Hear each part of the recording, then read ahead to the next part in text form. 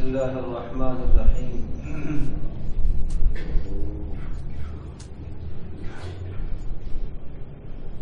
قال الله تعالى يا أيها الذين آمنوا توبوا إلى الله توبة نصوحا.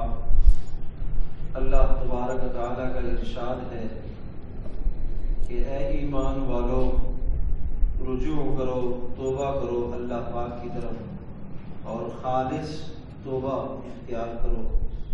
اور معنی نصوحا اور خالص توبہ کا معنی یہ ہے، ترک العودت فی ما تاب منه العبد الى ربه جس کام سے بندے نے توبہ کی ہے، اس کام کو، اس گناہ کو آدمی چھوڑ دے۔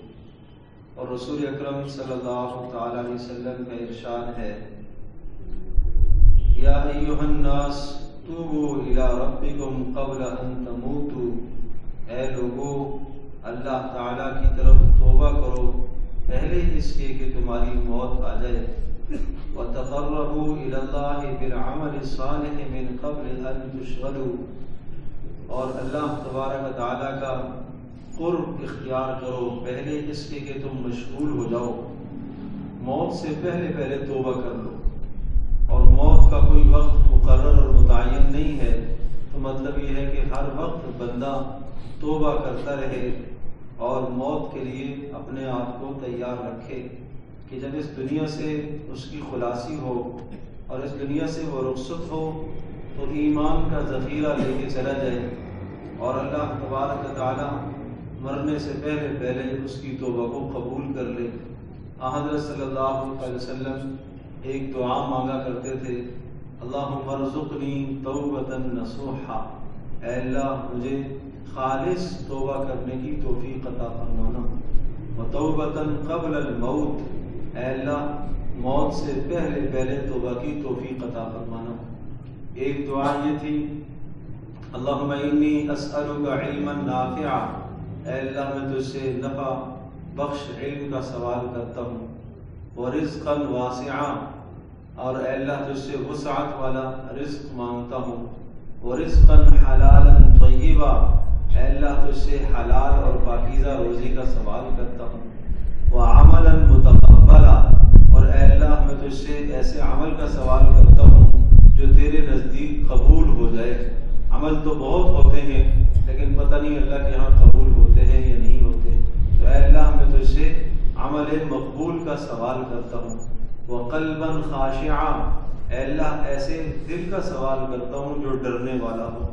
وَلِسَانًا ذَاكِرًا اے اللہ، ایسی زبان آپ سے مانگتا ہوں جو اللہ کا ذکر کرتی رہے۔ اور وَبَدَنًا عَلَى الْبَلَاءِ صَابِرًا اے اللہ، ایسے جسم کا سوال کرتا ہوں جو مصیبتوں پر صبر کرتا رہے۔ وَتَوْبَةً نَصُوحًا۔ اور اے اللہ، خالص توبہ کا آپ سے سوال کرتا ہوں۔ وَتَوْبَةً قَبْلَ الْمَوْتِ۔ اور اے اللہ، موت سے پہلے پہلے توبہ کی توفیق کا سوال کرتا ہوں۔ اور راحت عند الموت۔ اے اللہ، موت کے وقت راحت اور آسانی کے ساتھ میری روح نکل جائے، یہ آپ سے سوال کرتا ہوں۔ تو حضرت صلی اللہ علیہ وسلم نے اپنی دعاؤں میں اس دعا کو شامل کیا کہ اللہ، موت سے پہلے پہلے مجھے توبہ کی توفیق عطا فرما۔ اور اے اللہ موت سے پہلے پہلے توبہ کی توفیق بھی عطا فرما اور موت کے وقت راحت والی موت نصیب فرما۔ اللہ پاک کی یہ دعا ہمارے حق میں بھی قبول فرما لے اور اللہ سے مانگا بھی کرے۔ تو پہلی بات یہ ہوئی کہ موت سے پہلے پہلے توبہ کر لو دوسری بات یہ ہوئی وہ تقرب اللہ بالعمل الصالح۔ اور اللہ تبارک تعالیٰ کا قرب حاصل کرو، نیک اعمال کر کے، عمل صالح کے ذریعے سے اللہ کا قرب حاصل کرو۔ قبل ان تشغلوا، اس سے پہلے کہ تم مشغول ہو جاؤ۔ اور جب مشغولی ہو جاتی ہے تو پھر انسان کو فرصت نہیں ہوتی۔ علامہ ابن قیم رحمۃ اللہ علیہ نے اپنی کتاب میں لکھا ہے طوبى لمن اذا مات ماتت معه ذنوبه خوش نصیب ہے وہ انسان کہ جب وہ مرے تو ساتھ ساتھ اس کے گناہ بھی مر جائے والویل والویل لمن يموت وتبقى ذنوبه اور فرمایا کہ بربادی ہے، ہلاکت ہے، اس انسان کے لیے جو خود تو مر جائے، لیکن وہ گناہ چھوڑ کے چلا جائے۔ کیا معنی ہے؟ ایک آدمی نے کوئی ایسا گناہ جاری کر دیا کہ اس کے مرنے کے بعد وہ گناہ کا سلسلہ چلتا رہے۔ تو یہ اپنے لیے گناہ کا کھاتا کھول کے گیا ہے۔ حالانکہ ہونا تو یہ چاہیے کہ اپنے لیے نیکی کا دروازہ کھول کر جائے۔ اس لیے حدیث پاک میں آیا ہے حضرت صلی اللہ علیہ وسلم نے ارشاد فرمایا من سن سنتا حسنتا فله اجرها واجر من عمل بها ولا ينقص من اجورهم شيئا۔ جس نے کوئی اچھی چیز ایجاد کی، کوئی اچھا راستہ اس نے چلا دیا اور اس کو دیکھا دیکھی دوسرے لوگ بھی چلنے شروع ہو گئے۔ ارشاد فرمایا کہ اس کو بھی اس کا پورا پورا اجر ملتا رہے گا جس نے سب سے پہلے اس نیک راستے کی ابتدا کی۔ اور اجر میں کوئی کمی نہیں کی جائے گی۔ ومن سن سنتا سیئتا فله وزرها ووزر من عمل بها ولا ينقص من اوزارهم شيئا اور فرمایا کہ جس نے کوئی برا راستہ ایجاد کیا اور دوسروں کو غلط راستے پر ڈالا، ایک راستہ چلا دیا اور دوسرے لوگ دیکھا دیکھی، اس غلط عمل کو اختیار کرنے لگ گئے، تو جتنے بھی اس راستے پہ چلے گے سب کا گناہ اس پہلے والے کو ملے گا۔ اس کی مثال رسول پاک صلی اللہ علیہ وسلم نے یہ دی کہ کائنات میں سب سے پہلا قتل جو ہوا تھا، وہ قابیل نے، حابیل کو قتل کیا تھا۔ آدم علیہ السلام کے ایک بیٹے نے دوسرے کو قتل کیا تھا۔ فرمایا، اب قیامت تک جتنے بھی قتل ہوں گے، ان تمام قتلوں کا گناہ اس کو بھی ملے گا جس نے آغاز کیا۔ جس نے ایک ایک رسم ڈال دی اور ایک لوگوں کو راستہ دکھا دیا۔ کہ انسان کی جان اس طرح سے دی جاتی۔ تو آدمی کوشش یہ کرے کہ کوئی ایسا گناہ نہ ہو کہ جو آدمی کے مرنے کے بعد بھی چلتا رہے۔ کوئی ایسی بدعت نہ ہو جو آدمی کی موت کے بعد بھی چلتی رہے۔ بلکہ آدمی کوشش یہ کرے کہ اچھے اعمال جاری کرے کہ اس کے مرنے کے بعد ان اچھے اعمال کا ذخیرہ چلتا رہے۔ مثال کے طور پر کسی نے کوئی نہر کھود دی، یہ ایک اچھا عمل ہے، اس کی موت کے بعد اسے ثواب ملتا رہے گا۔ اسی طرح سے کسی نے کوئی کنواں کھود دیا، کسی نے کوئی مسجد تعمیر کر لی، کسی نے کوئی مدرسہ بنا لیا کسی نے کوئی اور لوگوں کی نفع رسانی کے لیے کوئی کام کر دیا، یہ سب وہ اعمال ہیں کہ جس سے مرنے کے بعد بھی اس کو ثواب ملتا رہے گا۔ ایک حدیث پاک میں آتا ہے کہ جب انسان کا، انسان کی موت آتی ہے تو اس کے اعمال ختم ہو جاتے ہیں۔ ہاں اگر کسی آدمی نے کوئی درخت لگا دیا ہو اور لوگ اس سے پھل کھائیں، یہ صدقہ جاریہ ہے۔ کسی نے کوئی نہر کھو دی ہو، لوگ اس سے پانی استعمال کریں، یہ صدقہ جاریہ ہے۔ کسی نے کوئی کنواں کھدوا دیا ہو یہ صدقہ جاریہ ہے۔ کسی نے کوئی مصحف، قرآن لے کر کسی کو دے دیا ہو، ارشاد فرمایا یہ اس کے لیے صدقہ جاریہ ہے۔ کسی نے کوئی نیک اولاد چھوڑی ہو، یہ اس کے لیے صدقہ جاریہ ہے۔ کسی نے کوئی مسجد بنائی ہو، یہ اس کے لیے صدقہ جاریہ ہے۔ موت کے بعد یہ اس کے لیے نام عمل میں لکھے جاتے ہیں۔ اور اس کے خلاف اگر کوئی آدمی اس طرح سے مرے کہ وہ گناہ کا کام کر کے جائے اور دوسروں کو گناہ پر ڈال کے چلا گیا اس کے دیکھا دیکھی دوسروں نے بھی گناہ کیا اور وہ گناہ کا سلسلہ اور وہ گناہ کا اڈا جاری ہو گیا چلتا رہا تو مرنے کے بعد اس کو سزا ملتی رہے گی جتنے بھی لوگ اس گناہ میں شریک ہوں گے ان سب کی سزا اس کو بھی ملے گی انہیں بھی ملے گی اس کو بھی ملے گی تو اس لیے ارشاد فرمایا کہ خوش نصیب ہے وہ آدمی کہ جو مرا اور ساتھ اپنے گناہوں کو لے گیا اور بڑا بد نصیب ہے وہ آدمی جو مرا اپنے گناہوں کو پیچھے چھوڑ کے چلا گیا۔ ولا تصح التوبه الا باربعه اشیاء ارشاد فرمایا کہ توبہ کے لیے ضروری ہے چند چیزوں کا ہونا۔ ان باتوں کا آدمی اہتمام کرے تو آدمی کی توبہ پکی ہوتی ہے۔ حل اسرار القلب علی المعاودہ کہ آدمی اپنے سب سے پہلا کام تو یہ ہے کہ دل سے عزم کرے کہ دوبارہ اس گناہ کی طرف نہیں آئے گا۔ جس گناہ سے توبہ کر رہا، آدمی عزم کرے کہ اس گناہ کی طرف نہیں آئے گا۔ اور دوسرا استغفار بن ندم اور شرمندہ بھی ہو، نادم بھی ہو، اور استغفار بھی کرتا رہے۔ اور تیسری بات ارشاد فرمائی ورد الطبعات والمظالم۔ اور جو لوگوں کے حقوق مارے ہیں یا اللہ کے حقوق ضائع کیے ہیں، انہیں ادا کرے نمازیں چھوڑی ہیں، ان کو ادا کرے لوگوں کے حقوق ضائع کیے ہیں، ان کو ادا کرے وحفظ الجوارح من الحواس السبع۔ اور ارشاد فرمایا، اپنے جسم کے اعضاء کی حفاظت کرے، گناہوں سے انہیں بچائے۔ تو یہ چار چیزیں جب کرے گا، تو آدمی کی توبہ پکی ہوگی۔ کون کون سی چار چیزیں؟ پہلی تو انسان عزم کرے کہ دوبارہ اس گناہ کے قریب نہیں آئے گا۔ اور دوسرا، استغفار، ندامت اور شرمندگی کے ساتھ استغفار کرے۔ اور تیسرا، کہ جو حق ہمارے ہیں اور جو حقوق چاہے بندوں کے، چاہے اللہ کے ضائع ہوئے، انہیں ادا کرنے کی کوشش کرے۔ اور چوتھا، وہ حفظ الجوار ہے اور فرمایا کہ اپنے اعضاء کی حفاظت کرے۔ اعضاء کی حفاظت سے مراد کیا ہے؟ فرمایا سمع کانوں کی حفاظت کرے، والبصر آنکھوں کی حفاظت کرے، واللسان زبان کی حفاظت کرے، والشم ناک کی، سونگنے کی حفاظت کرے۔ گزشتہ مجلس میں عرض کیا تھا کہ بسا اوقات سونگنا بھی گناہ کا ذریعہ بنتا ہے۔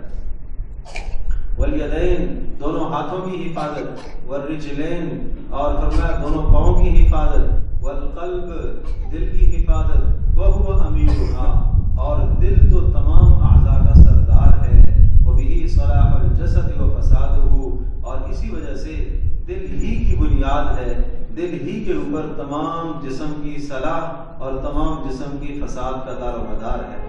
یعنی پورے اعضاء انسان کے آنکھ صحیح دیکھے گی جب دل صحیح ہوگا، کان صحیح سنے گا جب دل ٹھیک ہوگا۔ یہ تمام کے تمام اعضاء کا امیر اور ذمہ دار وہ انسان کا دل ہے۔ اسی لیے رسول اکرم صلی اللہ علیہ وسلم کو ارشاد گزشتہ مجلس میں عرض کیا تھا کہ تمہارے جسم میں ٹکڑا ہے خون کا، اگر وہ درست ہو گیا تو تمہارا سارا جسم درست ہو جائے گا، اور اگر وہ خراب ہو گیا تو سارا جسم خراب ہے۔ پر میں وہ دل ہے، وہ دل ہے، وہ دل ہے۔ تو اللہ پاک ہمیں دل کی حفاظت کرنے کی توفیق عطا فرمائے۔ اور اللہ سے مانگا بھی کرو۔ دیکھو، رسول پاک صلی اللہ علیہ وسلم نے کیسے دعائیں مانگی؟ اللہ طاہر قلبی، اے اللہ میرا دل، میرے دل کو پاک کر لے۔ کس چیز سے؟ من النفاق۔ اے اللہ نفاق سے۔ ومن الشقاق۔ اے اللہ اختلافات سے۔ ومن سوء الاخلاق۔ اور اے اللہ بری اخلاق سے میرے دل کو پاک کر لے۔ اللہم آعطی نفسی تقواہا، وزکہا فانت خیر من زکاہا۔ اے اللہ میرے دل کو، میرے نفس کو پاک فرما۔ اور تو بہترین پاک کرنے والا ہے۔ انت ولیہا و مولاہا۔ اے اللہ، میرے دل اور میرے نفس کا تو ہی والی ہے، تو ہی اس کا مولا ہے۔ تو نبی علیہ السلام نے بھی دعائیں فرمائی۔ دیکھو سورت الشمس میں امیر شاہ کی نماز میں مولانا نے جو تلاوت کی ہے، تو اس میں اللہ تبارک تعالیٰ نے گیارہ قسمیں کھائی ہیں۔ یہ وہ واحد صورت ہے، مختصر سی صورت ہے، جس میں اللہ تبارک تعالیٰ نے گیارہ قسمیں کھائی۔ پورے قرآن میں کوئی ایسا مضمون نہیں ہے جس مضمون کو اللہ پاک نے گیارہ قسمیں کھا کر بیان فرمایا اور حضرت صلی اللہ علیہ وسلم نے ارشاد فرمایا کہ یہ سورہ مبارکہ، سورہ شمس، کوئی آدمی اگر پڑھ لیتا ہے، ایک بار اسے اتنا ثواب ملتا ہے، اتنا سونا صدقے کا ثواب ملتا ہے جتنا پوری زمین کا وزن ہے۔ سبحان اللہ بھائی، بتاؤ زمین کا وزن کون تول سکتا ہے؟ اللہ کے خزانے میں کیا کمی فرمایا، پوری کائنات سے مجھے زیادہ محبوب ہے یہ سورج۔ وہ شمس و والقمر اذا تلا شمس کی قسم کھائی، سورج کی اذا تلاہا و شمس و سورج کی قسم، سورج کے طلوع ہونے کی قسم، اس کے چاش کے وقت کی قسم۔ والقمر اذا تلاها، چاند کی قسم جب اس کے پیچھے آئے۔ سبحان اللہ۔ اللہ پاک نے یہ قسمیں کھائی۔ والشمس وضحاها والقمر اذا تلاها۔ اور پھر اللہ پاک نے دن کی قسم کھائی، رات کی قسم کھائی اور آسمان کی، زمین کی، نفس کی، یہ قسمیں کھا کر اللہ نے کیا ذکر کیا؟ یہ بات، قد افلح من زکاہا وقد خواب من دساہا یہ قسم کھا کر، یہ مضمون بیان فرمایا، گیارہ قسمیں کھا کر کامیاب وہ آدمی ہے جس نے اپنے نفس کو پاک کر یہ ہے کامیاب۔ ناکام وہ ہے اور جس نے اپنے نفس کو گناہوں میں ملوث کر دیا، وہ ناکام ہو گیا۔ اللہ پاک نے ایک قسم کھا لیتے کافی تھی، اور نہ بھی قسم کھا لیتے، اللہ کی بات سچ ہی سچ ہے۔ پھر بھی ہماری تسلی کے لیے، ہمارے اطمینان کے لیے بتایا کہ دیکھو، دل کی اصلاح کر لو، نفس کی اصلاح کر لو، نفس کی اصلاح کر لو۔ اللہ پاک ہم سب کو اپنے نفس کی اصلاح کی توفیق عطا فرمائے۔ تو ٹھیک ہے، جو ظلم، جو زیادتیاں جو گناہ ہو چکے ہیں، موت سے پہلے پہلے ہم توبہ کر لیں اور ان چار چیزوں کو اپنی توبہ میں لے کے پہلی چیز توبہ کے اندر کیا ہے کہ عہد کرے کہ آج کے بعد میں اس گناہ کے قریب انشاءاللہ نہیں جاؤں گا۔ دوسرا، دل سے استغفار کرے نادم ہو جائے اے اللہ، میں معافی چاہتا ہوں۔ اے اللہ، میں معافی چاہتا ہوں۔ اے اللہ، میں معافی استغفر اللہ الذي لا الہ الا هو الحی القیوم واتوب الیہ۔ یہ پڑھیں۔ پڑھیں میرے ساتھ استغفر اللہ الذي لا الہ الا هو الحی القیوم واتوب الیہ. استغفر اللہ الذي لا الہ الا هو الحی القیوم واتوب الیہ.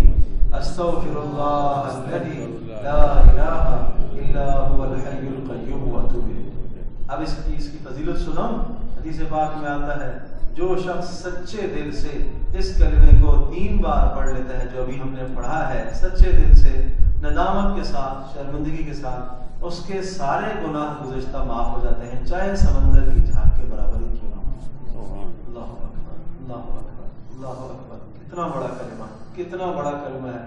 قربان جاؤں حضرت محمد صلی اللہ علیہ وسلم کی مبارک ذات گرامی پر، جنہوں نے ہمیں ایسے پیارے پیارے اعمال دیے۔